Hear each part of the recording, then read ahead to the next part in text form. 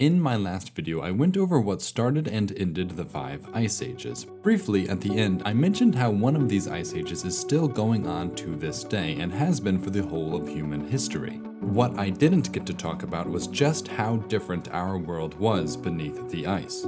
The planet's climate had changed, and with it, its geography. Quite simply, the world we're familiar with today was not the same world humans knew thousands of years ago. So today I'd like to explore this frozen Earth and uncover some of the lost geography from the earliest days of human history.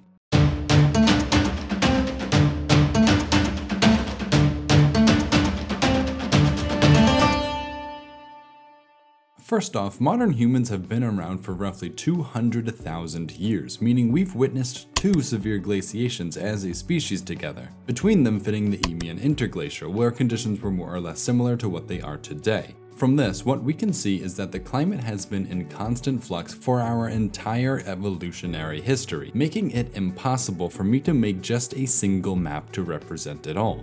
So instead, I'll be using this period around 25 to 20,000 years ago as an anchor point, but may diverge a couple thousand years here and there. At this time, around 8% of the planet's surface and 25% of its land was buried beneath ice sheets. For some comparison, only about 3% of the planet's surface and less than 11% of the land is underneath ice today. This difference equates to an additional 56 million cubic kilometers of ice on the planet, which ultimately comes from the ocean. What I'm trying to say is that during this time, the sea levels fell by over 130 meters below current levels, revealing far more land area across the surface of the Earth than we're familiar with today.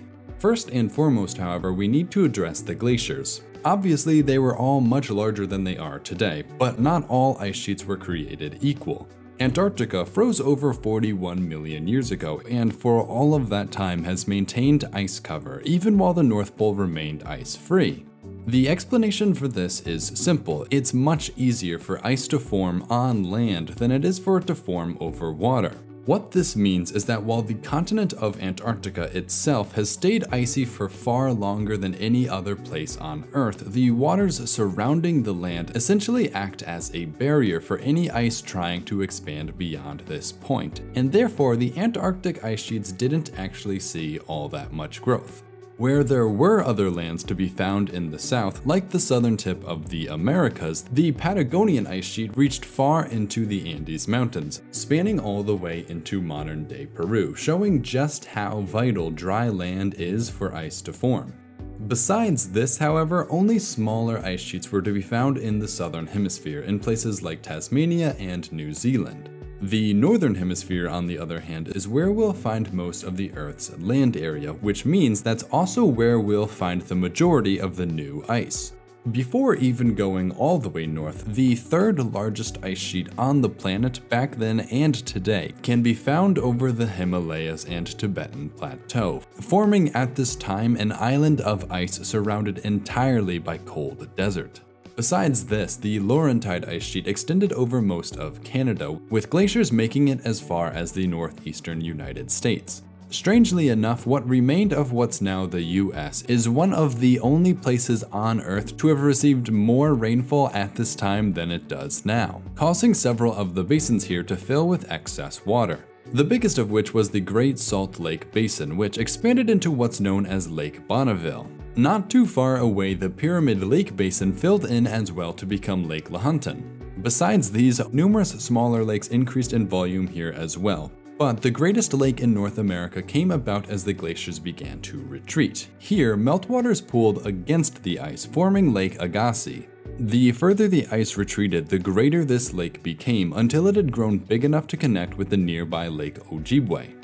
As glaciers continued to move, the lake followed until the ice wasn't enough to contain it all, and eventually the lake drained into the ocean some 8,000 years ago. Today, only the deepest remnants of this once ginormous lake remain, such as Lake Winnipeg, Cedar Lake, Lake Winnipegosis, Lake Manitoba, and the Lake of the Woods.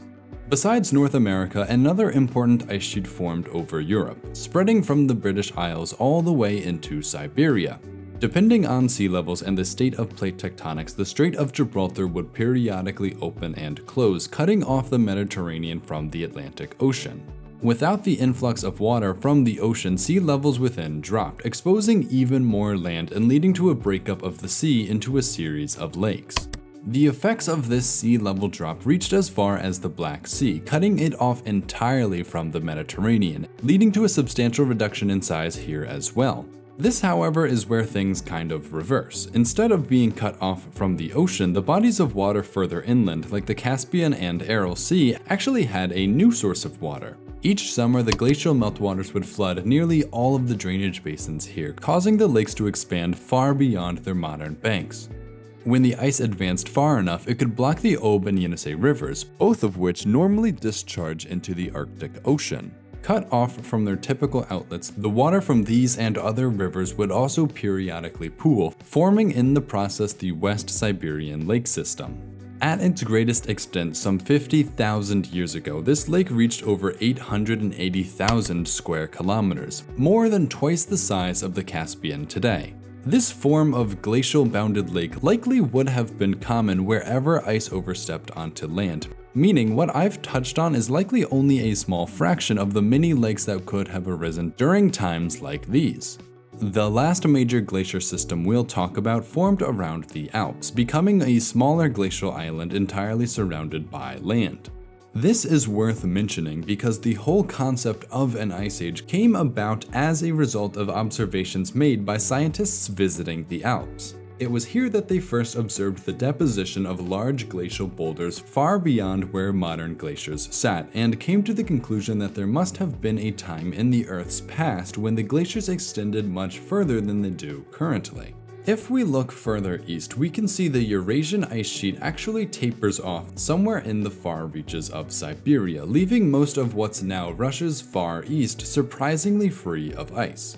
Now, the initial assumption here would be that temperatures weren't low enough to sustain continual ice growth, but if you know anything about this part of the world, you'll know that it is actually one of the coldest regions on Earth. Switching our map real quick over to average annual temperatures, we can actually see this region is clearly colder than both Northern Europe and North America.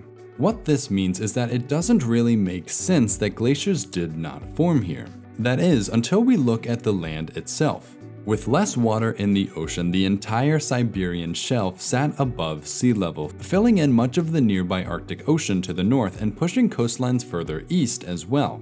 By further distancing these lands from sources of water, i.e. the ocean, this region became extremely difficult for moisture to reach. This, compounded with the air's reduced ability to hold water, and together means the deep interior of Asia just never received enough snow to begin building up ice season after season. To make matters even less favorable, wind patterns at this latitude blow air towards the northeast, pushing dry continental air out over moist ocean air. Meanwhile, over here, the exact opposite occurs, where moist ocean water was pushed over the land, which explains why we see ice forming off the west coast of North America but not Russia's far east. This is important because the lack of ice combined with lower sea levels led to the formation of a land bridge between North America and Asia, what's now known as Beringia. It was this land bridge that early human explorers crossed to begin populating the Americas, meaning we have this land bridge to thank for an entire chapter of human history. This, of course, wasn't the only land revealed by lowered sea levels. Further down the coast, we can see the shallow seas surrounding Japan were dry at this time too, connecting the islands to the mainland. When sea levels reached their absolute minimum, the lower parts of the Japanese peninsula would connect with Korea to create yet another massive lake in the interior of Asia. The Yellow Sea, on the other hand, was completely drained at this time, connecting the Korean peninsula not only to Japan but to China as well. And sorry Taiwan, but during this time you too were part of mainland Asia. Even further down the coast, we'll find perhaps the greatest reclaimed lands anywhere on Earth at this time, as the shallow waters dividing the islands of West Indonesia dried up, and a contiguous landmass rose to connect Sumatra, Java, and Borneo to Southeast Asia, forming what's known as the Sunda Lands. At its greatest extent, the Sunda Basin could reach as far as the Philippines while never pushing further east than the island of Sulawesi. As a result, it's here that an important natural boundary was formed. Being an extension of Eurasia, animals moved freely between Asia and the Sundaland, populating this region with the animals typical to the continent, such as elephants, apes, tigers, rhinos, you know, Eurasian animals. Past this line, however, only animals originating from Australia and New Guinea had access, which is why you'll find things like marsupials and monotremes over here and basically nowhere else making what's known as the Wallace Line the natural barrier between two entire continents. The last major island to join Asia was that of Sri Lanka, which tacked itself nicely onto India. And it was only 500 years ago that this changed, when a cyclone came through and washed away the last bridge between the two lands. Continuing west, we'll find the Persian Gulf entirely filled in, turning the Arabian Peninsula into, well, not a peninsula. Around the other side of Arabia, we can see that the shallowest part of the Red Sea cut the rest of it off from the Indian Ocean, turning the Red Sea into the Red Lake, while simultaneously connecting Asia to Africa in two places instead of just one. Africa, on the whole, however, was perhaps the least changed of all the Earth's landmasses, gaining a little ground here and there, but nothing huge, especially when compared to Asia. So moving on to Europe, if it wasn't under a tremendous sheet of ice, you'd be able to see that ocean levels dropped far enough to drain the Celtic, North, and Baltic seas, exposing the lands of Doggerland and connecting Britain, Ireland, and Scandinavia to the rest of Europe, while even creating a few new islands between expanded Europe and Iceland. Even further north, we can see a huge area of land would have been exposed, filling in the Barents and Kara seas though all this new land really did was make it easier for ice to come in and cover it all up.